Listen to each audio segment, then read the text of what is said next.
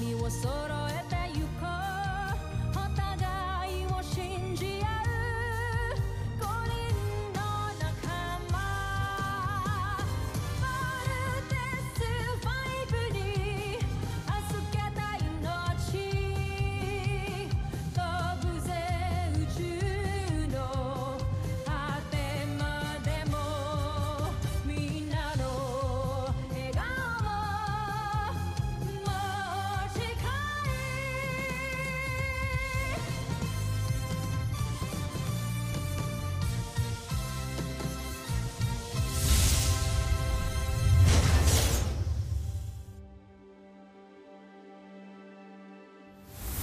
Yung nakaraan sa Voltes 5 Legacy.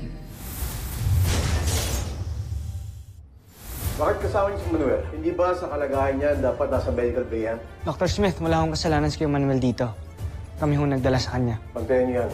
Ayokong iikot-ikot yan sa camp. And pardon me. Tomorrow morning, kailangan ka nang umalis. Aalis na ako kapag lumiwanag na. Buti nandito kayo.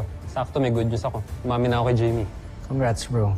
Gusto mo rin yung sinasabi niyan, Jamie, no? Dapat ba ilaban ko? Kahit mag-away kami ni Mark? Hindi mahalaga ang ibang tao. Wala ka dapat isiping iba kundi ang kapakanan mo. Still looking for clues kung tao ba talaga o hindi yung bisita natin, Dr. Smith. There is something about him that is not right. Honestly, ako rin po, Dr. Smith. There's just something in him na hindi ko talaga gusto. Sasamantalahin ko ang kabaitang pinapakita nila sa akin. Hanggang sa malaman ko ang sikreto ni Voltes 5. At ipinapangako ko sa inyo, hindi matatapos ang gabi nito. Malalaman ko kung sino-sino ang mga piloto ng Voltes 5. Hindi pinursu ni Steve si Jamie. Actually, ang dinedate ni Jamie si Mark. Steve and Jamie are just friends.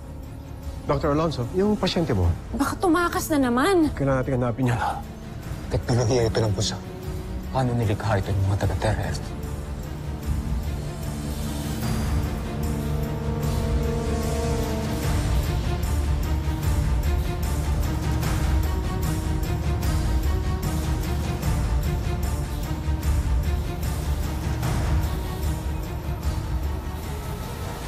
Earth? Voltes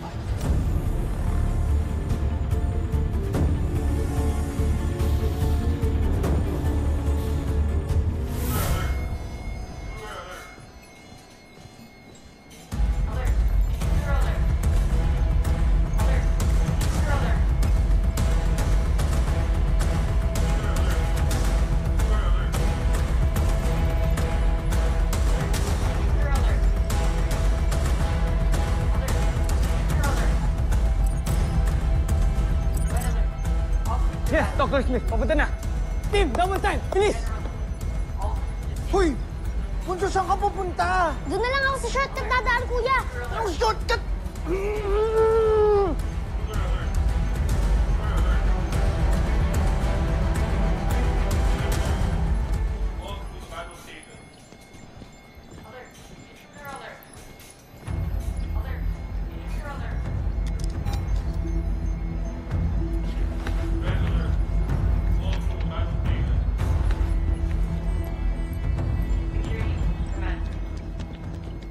Dr. Smith! Ano ang problema? Oh! Ang bilis mo naman, Little John. Nawawala ang kaibigan ninyo. Pinapahanap ko na. Ah, baka ho, umuwi na siya. I don't think so. Hawak pa ni Dr. Alonso ang kanyang medical release. At hindi siya makakalabas ng camp nang wala yon. Eh, bakit po kailangan pa natin magpaalam? Parang napaka-big deal naman po ata na nawawala si Manuel. It's not as if napasok pa tayo ng Brazilians. Who knows? Kung Brazilian nga siya.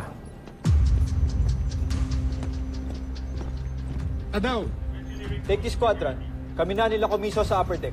Yes, sir. Good, let's go!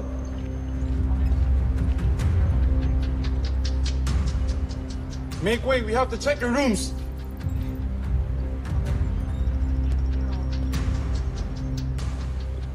Baka may trouble na naman eh.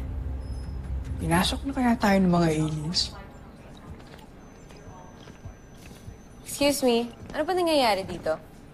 May hinahanap kaming taong labas. May nakita ba yung pumasok dito? Ha? Ah, Wala, wala. wala. Wala, wala po. Wala naman. All clear. Sige na. Bumalik na sa mga kwarto ninyo. We still have to search the other areas. Yes, sir. Tara. Tara. Ingat ka ta daw. Stressful talaga dito sa Camp Big Falcon. Buti na lang, happy ako. Why? Single pa rin si Steve. Hindi sila ni Jamie. So ano, akala ko ba move on na tayo kay Steve? Ayoko yung smile mong yan. No, you don't. I still love him. Okay? At kung wala sila ni Jamie, maybe I still have a chance with him. Okay, sige go. Bahala ka. Si Kuya Manuel? Isang alien? Imposible naman.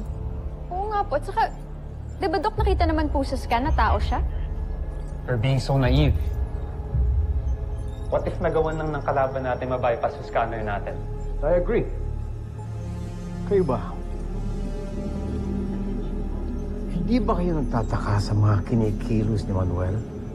Lagi na lang siyang tumatakas sa medical bay. I'm sorry, Dr. Smith. Pero masyado ho tayo nagiging judgmental dito. If he's an enemy, then ngayon pa lang meron na ho siyang ginawang masama. Sa totoo lang, para siyang... Para siyang kapatid sa amin. Di ako pwedeng magbakasakali. I cannot put this camp at risk. At lalong-lalo na kayo. Kayo ang last line of defense. Kapag may nangyari sa inyo dahil sa kapabayaan nating lahat, who will protect our planet?